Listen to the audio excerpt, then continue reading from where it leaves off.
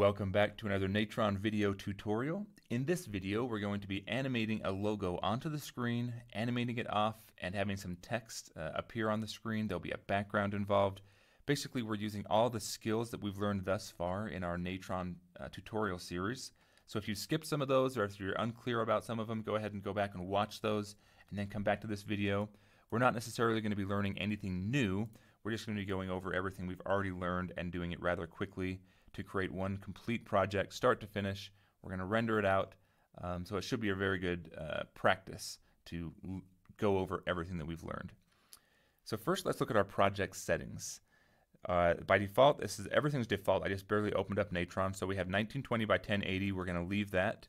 We have 250 frames total, starting at 1, ending at 250, and playing at 24 frames per second. So doing some basic math, we can figure if it's 24 frames every second, after 10 seconds, if we take 24 times 10, it'll be 240 frames. So that's pretty close to 250. So this total project will be about a 10 second animation if we leave things exactly the same here, which we're going to do. Let's just leave it. So to get started, let's read in our first image. We're going to read in the background image. It's good if your background image is the same size uh, as your project, which ours is. It's a 1920 by 1080 image and our project's 1920 by 1080, so perfect. So I brought it in here. I didn't have my viewer selected when I imported it, so we're gonna have to tie it in ourselves. So we'll left click and drag to the viewer, and now we can see the background. Uh, but actually, we're doing a merge node anyway, so let's add in another read because we want to read in our logo. So we can see what that looks like. Okay, cool. So we've got our logo here. We can see each of them separately. If we want, we can just see them we can have this one and two, and we can press one and two on the keyboard, oops, and toggle so that we can see them like that, one, two. Uh, when, when no node is selected, if we just hit one and two, we can see whatever's connected to the viewer. But we want to merge them together. So we're going to get a merge node, which are these merge nodes here. Left click on merge. We'll bring in a merge node.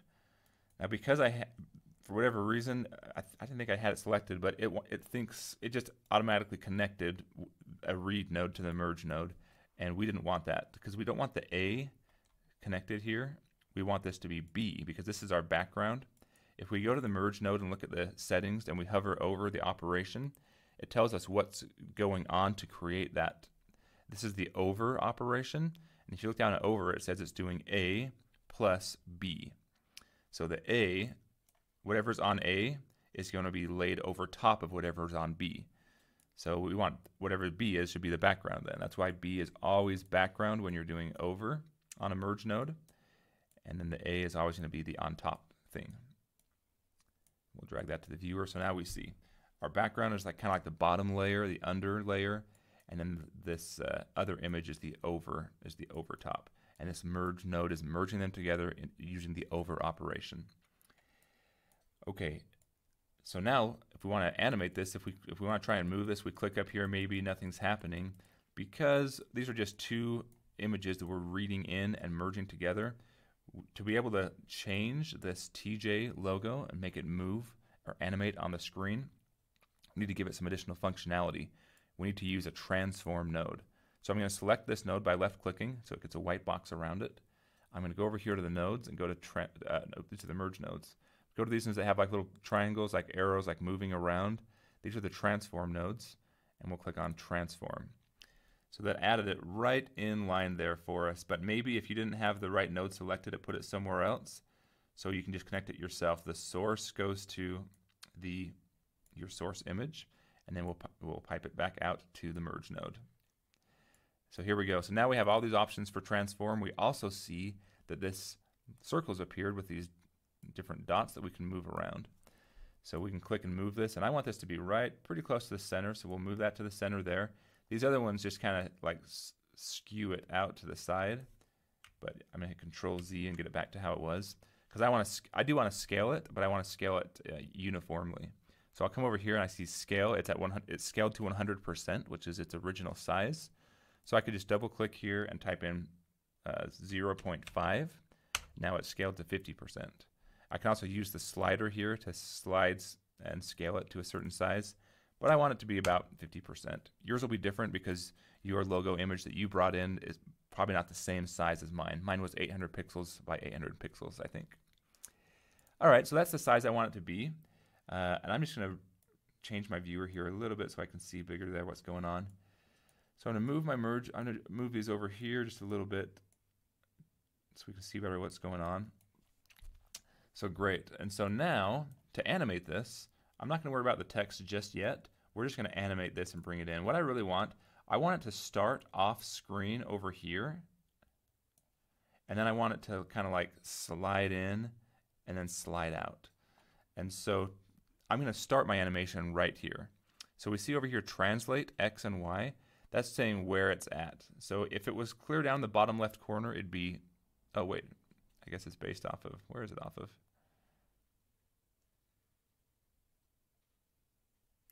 Let's see what, I'm trying to find out where zero, zero is. So this is a learning experience for both of us.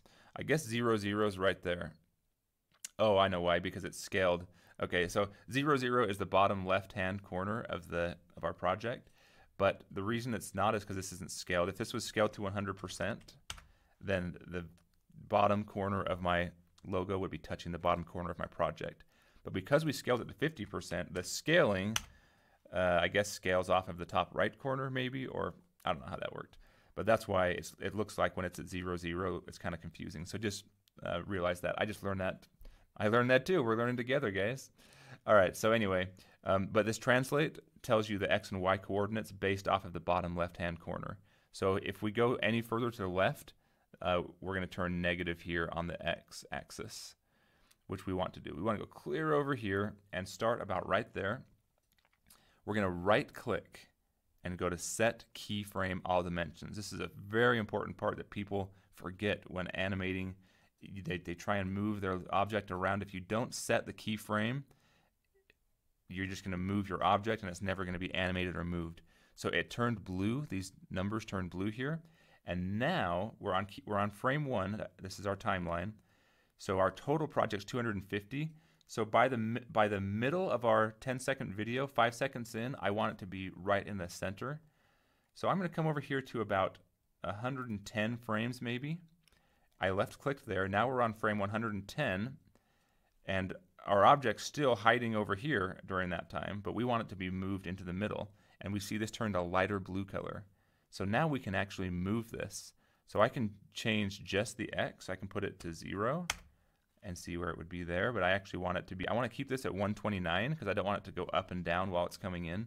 I just want it to go straight across. So I'm only going to change the X, but let's change it to um, positive 10 oh, I mean positive, yeah, there we go. Let's do positive 100. Let's do positive 1000. Uh, let's do, so we got to find like a good, a good place for this thing to be. 800. I mean, I could drag it, but then I guess I will. I'll just keep this 129. So I'll drag it right where I want it to be, about in the middle, and then I'll change this back to 129. Perfect. So now that should slide all the way across. We're at frame 110. If I hit the back uh, this back triangle to go to the beginning of our project and hit play, we should see it animating and sliding in. And it's a little bit choppy. It might be choppy. Don't worry about that because this is just showing a, a an example, a preview of it. And the more things we get, the more nodes we add and get adding in here, the more laggy and slow our animation is going to look. But when we render it out, it'll be full speed uh, according to our project settings. So full speed at 24 frames per second, and it'll be nice and smooth. So now I can go back here and see what's happening at any given frame between 1 and 110 where my where I set my keyframe. And maybe I want it to stay here. In fact, what I what I what I want it to do, I'm going to double click on the transform node so I go back have my settings uh, in front of me. And I'm going to maybe make it grow once it gets here, I want it to grow a little bit. So to do that at frame 110, actually I'll, I'll wait 5 frames. At frame 115, I'm going to scale it. I'm going to, uh, I want to stay this size, grow up a little bit, and then go back down, and then go go out of the screen. So to do that, I'm going to have it be the scale that it's at here. We're going to right click on scale and go set keyframe all dimensions. So now at frame 115, we have a keyframe for scale, but not for translate. Uh, I mean, if we if we move it, then these would turn a dark blue as well, and there'd be a keyframe for the for translate. But now we just have a keyframe for scale. So what we want to do, actually, if I want to wait five seconds, I should keep it there and then go to 20 and set another set a keyframe here at 20. All right. So now we're going to scale it up to about this size. And let's go to 30 and we'll scale it back down to 0.5. Perfect. So let's see what that does. Oh, that's kind of cool. So let's go back to the beginning. It animates onto the screen. It's actually animating pretty slow, but I guess that's okay. And it kind of jumps up at you. And you know what? This is just like, that, was really slow. That Let's have it slide. Let's have it go off a lot faster. I like that jump though.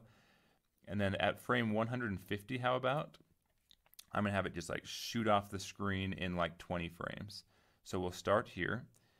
Uh, and we'll have it, uh, let's set a keyframe here, and then we'll go to frame 170, and by frame 170, we want it to be off, clear out here. We want to stay at 129. Uh, yeah, so now we'll go back to the start and see how this looks. Okay, we have our logo animated in. It's going to jump up a little bit, and it's going to fly off the screen. So going in was just way too slow, but I'm not going to change it just because I think you get the point. And you probably know how to change it. So if you don't like how slow that is, you know, maybe make your project uh, a little bit shorter and then do something different. Anyway, but ours is done by about two, frame 200. So I'm going to come down here and change ours so that it, it's done by, by frame 200 instead of 250. So I just kind of shortened our project. And you know what? I said I was going to put text on, but I think I'm going to leave this video like this. I don't want to, to drag it out too much longer. So I'm just going to leave everything how it is there. Um, again, if you're confused on on some of this, or if you're if you're moving things around, one of the common problems, I guess, with animating is that people will people will do this. They'll uh, they'll bring in, they'll read in like if I read in another logo here. Um, well, actually, I can't do it here. what, what, I was going to say was if you don't set the keyframe, like let's say this, let's say I want the uh, I want it to skew now. So I, I click on at frame 140 and I'm like, hey, let's skew this image like this.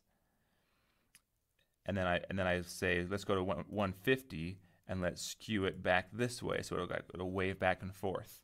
And then we go and play. Well, now look, it's just skewed that way. The whole time it's just skewed, the whole project. It's not animating skewed back and forth like I, I want it to do. I want it to do this, you know, animate. But a lot, so the, the a problem people when they're first starting run into is they don't set the key frame. And so if it's not blue, dark blue, or light blue, if it's just gray like this, you can do it all you want, but it's not gonna, it's just gonna stay there. If it's gray, it's gonna stay there the entire project. It's gonna stay wherever you set it.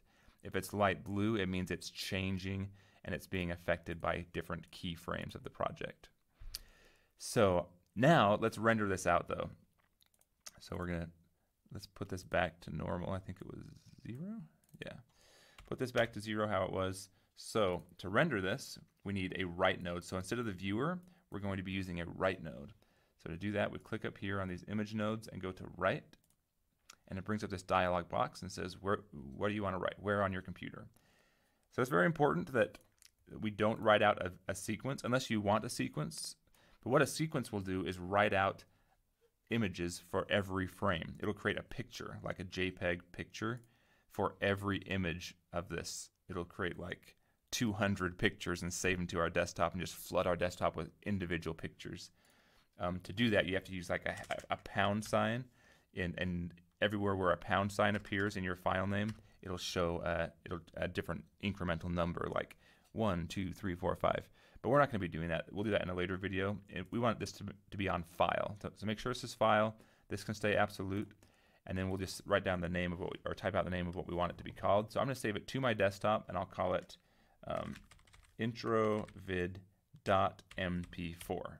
And as soon as I type in MP4, it changes the file type automatically to MP4 down here, which is what we want. And I can just click Save. So now our write node has settings too over here, or properties that we can look at.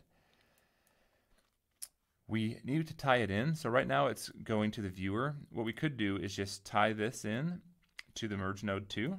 And now everything our viewer is seeing, hmm, is that right? Yeah, everything our viewer is seeing is also going out to our write node.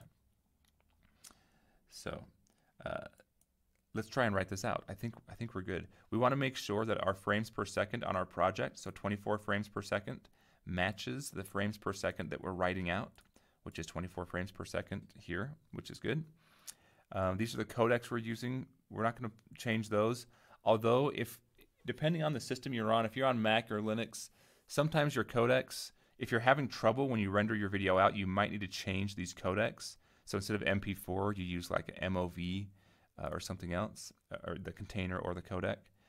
Uh, what else? So we're rendering the entire project, so it's going to go from frame 1 to 250. We could also manually just render out like the first 100 frames, or we can go frame 50 to frame 125, but we're just going to do the full project. Uh, yeah, so let's just do this. So we'll click render, and it's going to go through every node. It brings up this progress bar. So to get back to our node graph, we can just click here, but we're in the progress right now, and it's showing we're 35% done. Uh, it's rendering frames 1 to 200. It's going to take 15 more seconds till it's complete, and it tells us where it's rendering it to. So that's great. So this is just about done, and we'll go watch the video. I'm just going to change the change this a little bit. We'll drag this over here so we can see. Okay, 100% finished, and here's our video here on the desktop. So I'm going to minimize Natron now, and we'll open this video and see how it looks.